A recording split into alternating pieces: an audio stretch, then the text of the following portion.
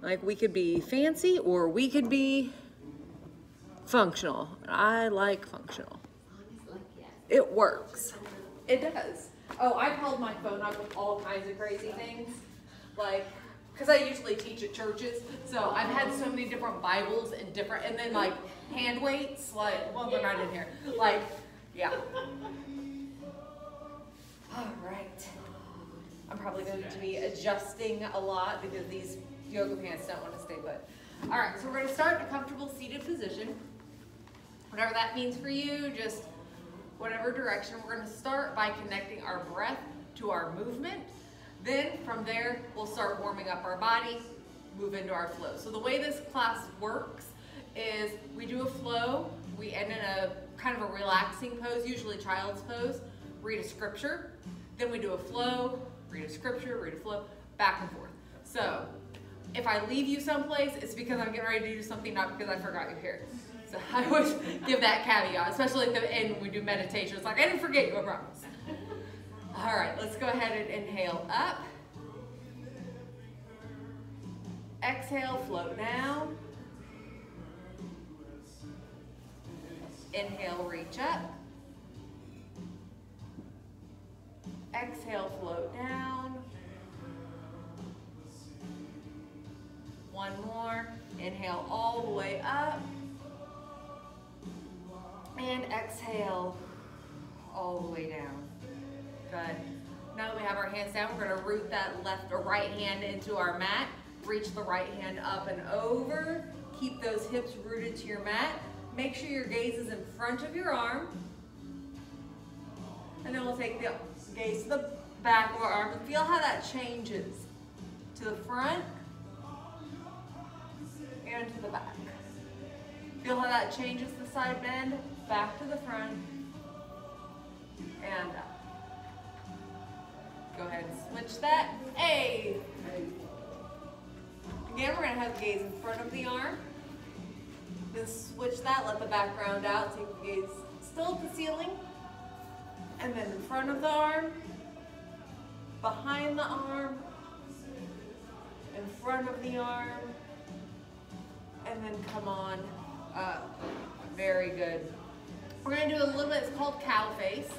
Stretching out mostly in the hip flexors. So you do whatever's comfortable for you, which is fine.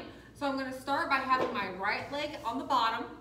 Then I'm gonna take my left ankle on top of knee, knee on top of ankle. Now if you've got a big space here like this, totally fine, okay? That I think has more to do with your body than it does with the pose. Because I, the yoga instructor I learned this pose from, I've been doing yoga for years, she was still up here. Okay, so I think it's a little bit how you're built, that's a little bit stretch. But you should feel a nice stretch in the top leg and that hip flexor. Yeah, also very common, very few people are fully symmetrical. This is my bad side, so I am All right, let's switch that. So I'm gonna put my left leg on the bottom, right on top. So we're stacking those joints. Heel on top of knee, knee on top of heel. And again, we can press down a little bit if you need to. And you're really making a triangle here. So if you look down, you see a triangle formed with your lat.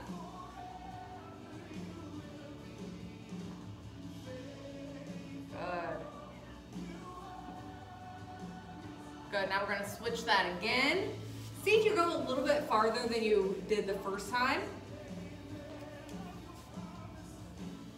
Again, this is my bad side, so I immediately feel that pull. So I don't have to add a lot of pressure here. And remember, you should be able to see that triangle when you look down. If you don't see that triangle, it means you're probably pulling in uh, to a different pose. Actually, this isn't cow face. I think this is lotus. Cow face is when we pull and have knee over knee.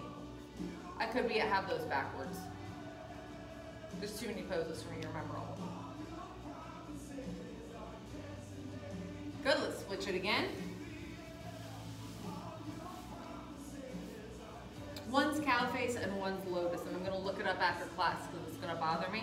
But the difference is this where you can see the triangle, really good on the hips. Taking that interior stretch. The other one is basically you take both knees or both heels, pull them apart, and the goal is to have knee on top of knee. So that's the difference between the two poses. I just can't remember which one's cow face and which one's lotus right now.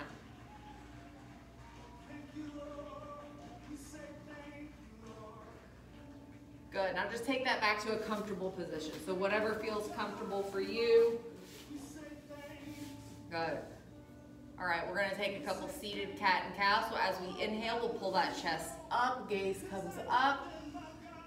And then as we exhale, we'll round that back out, push the air out of our lungs. Inhale up, exhale down. One more. Inhale up. Exhale down. And neutral spine. We'll take that around to tabletop. So we're gonna let our knees come to the mat, hands come to the mat. So tabletop pose, we're on all fours. Make sure our joints are safely stacked. So we've got wrist directly under elbow, elbow directly under shoulder, knees directly under hips, and you're always lightly pushing away from your mat so that we don't sink down into those shoulders. This is not where we want the shoulders to kiss. We want to push away from that a little bit. Good. We're going to go to an open child's pose to start with. So we're going to let our toes touch in the back, open our knees up to the wide edges of our mat, and we're going to push our hips back towards our heels. We're going to rock this back and forth three times. So push back, rock forward, push back, rock forward. And the last time we're gonna push back and keep it there. And we'll walk our fingertips forward until our forehead releases to the mat. While you're here, we'll take a nice big inhale in through the nose. Then you exhale out through the mouth. Sinking down further, relaxing into that pose. And I'll read our first scripture for today.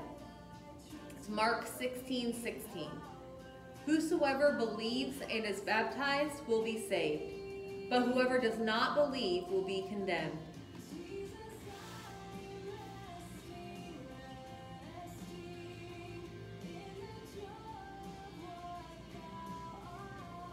And coming back up to tabletop. Good. We're going to bring those knees back in. Good. We're going to take this straight into what's called monkey, which is my absolute favorite hamstring stretch. Okay? So if it feels a little extra special, find where it feels right for you. We want to find that right balance between uh, pain and purpose. Okay? So I'm going to start so you can see what I'm doing. I'm going to start with that right leg. I'm going to take my right leg up. I'm to help it out a little bit. Right next to my hand.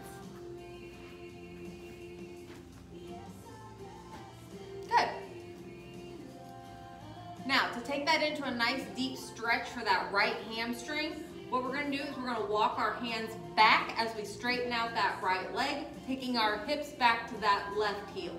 So I'm gonna push it back, and my toe is gonna naturally come up, and then I bring my chest towards that knee. You feel a really deep stretch at that point. This is someplace you can use a block, you can use it to sit on to shorten the distance. If you want, you can use it for balance if you wanna come up a little higher. Whatever position you need to be in to feel that good stretch in your hamstring is what we're going for. Again, we're pulling the toe up to the ceiling. That's going to take the stretch into the calf as well. If you want to focus just on the hamstring, you can point that toe and go a little deeper. You're going to feel less in the calf and more in the hamstring, so it's whatever your body needs.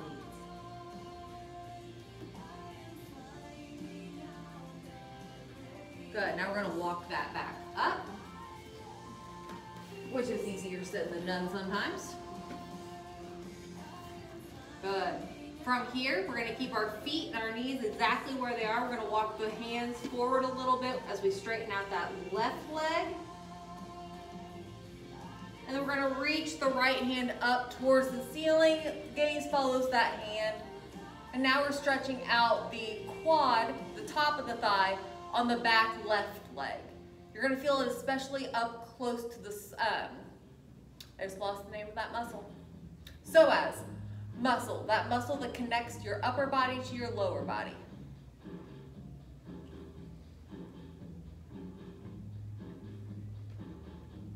And we'll release that hand back to the floor. Walk hands back to be even with that foot. And we'll take that foot back to our tabletop pose. I've totally messed up my mat back there. There we go. And we'll do a couple cat and cow to recenter before we go into the other side. So we'll inhale, drop the belly button down, tailbone and the crown of the head come up. And then as we exhale, round the back and push that out. Inhale, up. Exhale, round it out. One more. Inhale, cow. And exhale, cat. And neutral spine.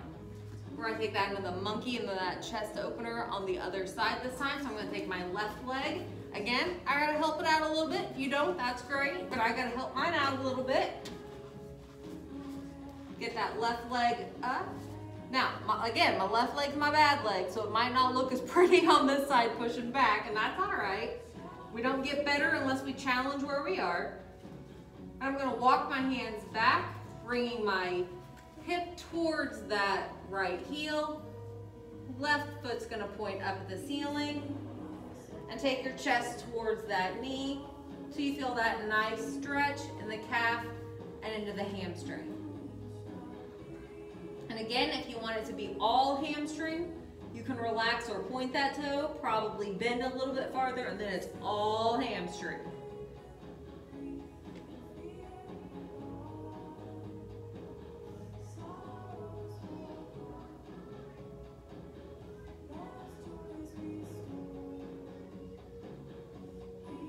And walk that up.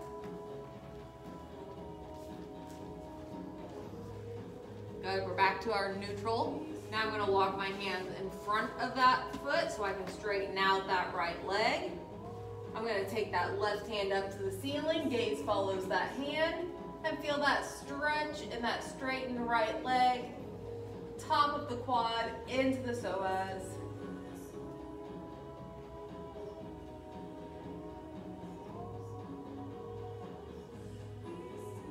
And take that hand back down to your mat. And we'll go ahead and let that foot come back. A few cat and cow to recenter. So we'll inhale cow. Exhale cat. Inhale cow. Exhale cat. One more big inhale through the nose. And exhale, round that out. And neutral spine. We're gonna leave the knees together for a closed leg child's pose this time. Different benefit. So we're gonna put, push our hips back, laying our stomach on the tops of our quads. This is great to massage the digestive system. Walk those fingertips forward. If your forehead doesn't quite